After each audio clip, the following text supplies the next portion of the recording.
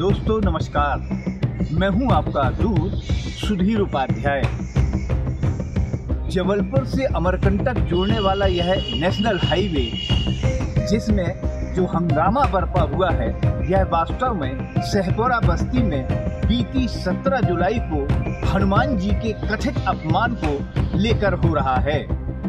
यूँ तो डिंडोरी की पुलिस ने आरोपियों को घटना के कुछ ही दिन बाद गिरफ्त में ले लिया था, लेकिन उसके बावजूद भी यह आग धीरे धीरे पूरे इलाके में सुलगती ही रही है।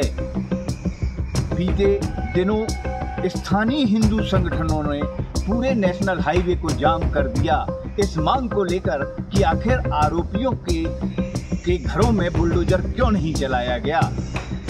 अंततः जिला प्रशासन के मुखिया, यानी कलेक्टर डिंडोरी मौके पर पहुँचे और आनंद फानन में बुलडोजर की कार्रवाई भी कर दी गई। यह घटना यद्यपि हंगामे के रूप में तो शांत हो गई, लेकिन इसकी आग अभी भी राजनीतिक गलियारों में सुलग रही है, जहाँ भाजपा के अध्यक्ष सहित अन्य पदाधिकारियों ने एक, एक प्रेस विज्ञप्ति जारी कर एक वीडियो जारी कर स्वयं को इस घटना में श्रेय लेना चाहा।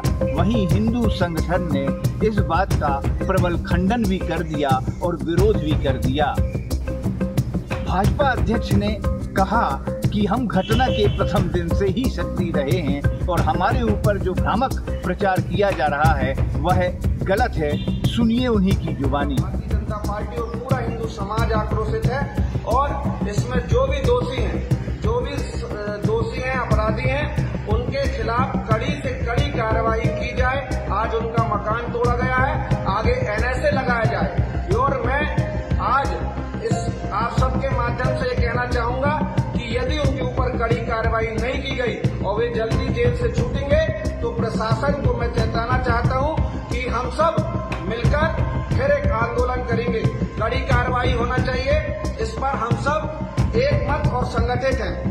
मेरा ये कहना है कि जो मेरे ऊपर आरोप लगे हैं और हमारे पदाधिकारियों के ऊपर आरोप लगे हैं, ये बिल्कुल हास्यापद घटना है। जिस दिन ये घटना घटी है, उस दिन हमारे मीडिया के बंधु भी वहाँ उपस्थित थे और पूरे सामूहिक बहुत सारे लोग और जो उस दिन आंदोलन कर रहे थे, वो लोग भी वहाँ उपस्थित थे। यदि मैं किसी के सामने, यदि यह और यदि कोई इस तरह का प्रमाण लाता है तो इस घटना, इस कथन के लिए मैं जिम्मेदार होऊँगा। दूसरी तरफ़, हिंदू संगठनों ने इस का श्रेय लेने के लिए यह कहा कि भाजपा के पदाधिकारियों ने हमारे धरना के बावजूद भी कोई सहयोग नहीं किया और जब पब्लिक उमड़ी तो सभी लोग श्रेय लेने आ गए। बहरहाल, हंगामा शांत हुआ है, लेकिन चिंगारी धधक रही है, वह भी राजनीतिक प्लेटफॉर्म पर। इस चुनावी समय में यदि भाजपा और हिंदू संगठन ही आमने सामने होंगे तो कांग्रेस तो मज़ा ही लेगी। आज के लिए बस इतना ही। यदि यह वीडियो पसंद आया हो तो शेयर कीजिए लाइक कीजिए। धन्यवाद। जय हिंद।